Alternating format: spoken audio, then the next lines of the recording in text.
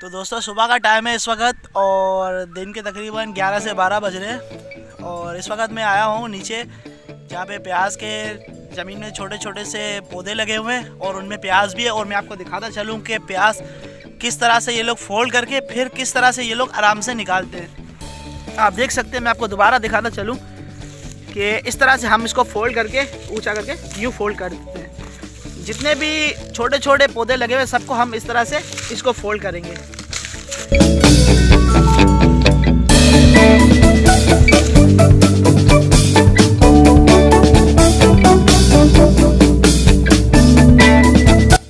ये मुझे यहाँ पे लोगों ने सिखाया था तो आज मैं कोशिश कर रहा हूँ कि मैं अपनी तरफ़ से खुद से करूँ, और मैं कर रहा हूँ कि ये प्याज से जो छोटे छोटे जो प्याज के पौधे लगे हुए इसको इस तरह से हम लोग पकड़ के मैं आपको दोबारा दिखाता चलो, इस तरह से पकड़ के, इसको यूँ करके ऐसे फोल्ड करते, ताकि ये अपनी बुनियाद ज़्यादा ऊपर तक ना ले जाए।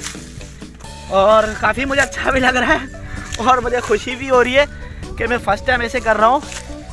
और, यहाँ पे मैं अकेला बंदा तो नहीं कर सकता, पर जिस तरह से मैं आपको दिखाता चलूँ कि प्याज हम लोग किस तरह से तोड़ दें लेकिन इस तरह से अगर हम तोड़ेंगे तो इसकी बुनियाद हिल सकती है।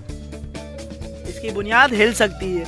आप देख सकते हैं किसी ने तोड़ने की कोशिश की है, पर वो उसकी बुनियाद हिल गई है और वो टूट चुका है।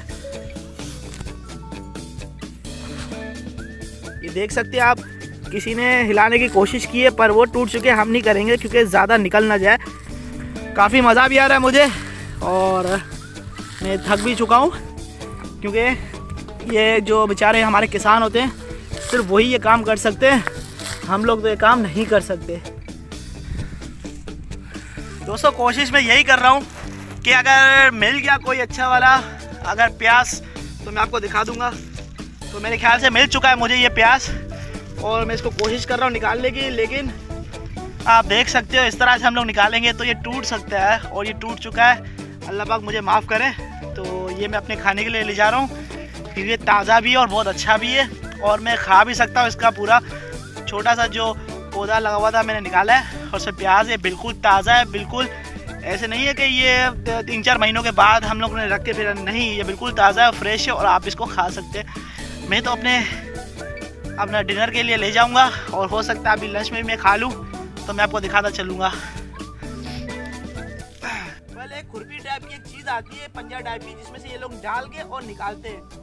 तो जिसने तोड़ दिया तो मैं नहीं चाहता कि ये ज़ाया हो जाए तो मैं इसलिए अपने इस्तेमाल में इसको ला सकता हूँ मैं और बिल्कुल ताज़ा, बिल्कुल फ्रेश है। इसमें कोई भी, सिर्फ़ हम लोग इसको धो के और खा सकते हैं। तो लिहाजा मेरी कोशिश यही है कि ये पूरा निकला है, पर किसी ने इसको तोड़ने की कोशिश की है तो ये अंदर से ज़्यादा टूट चुका है। तो ये आप देख सकते हैं, माशाल्लाह से मैंने तोड़ दिया है और थोड़ा सा यहाँ पे डैमेज हो गया, पर मैं, मेरी कोशिश यही है कि कोई और ना टूटे और मैंने फ़िलहाल तो दो निकाल लिए। तो मैं अभी दोबारा आगे चल के भी मैं आपको दिखा दूँगा ये पूरा जो जितनी भी ज़मीन है, ये पूरी प्याज की और बिल्कुल फ्रेश और ताज़ा है और आप लोग अभी नहीं, आप इसको धो के आराम से खा सकते हो। मैं आपको दिखाता चलूँ।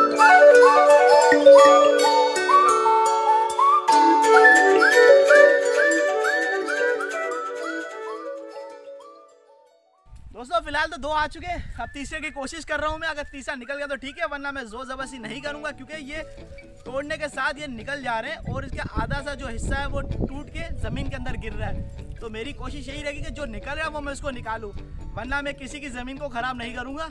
अल्लाह पाक का खोफ भी है मुझे।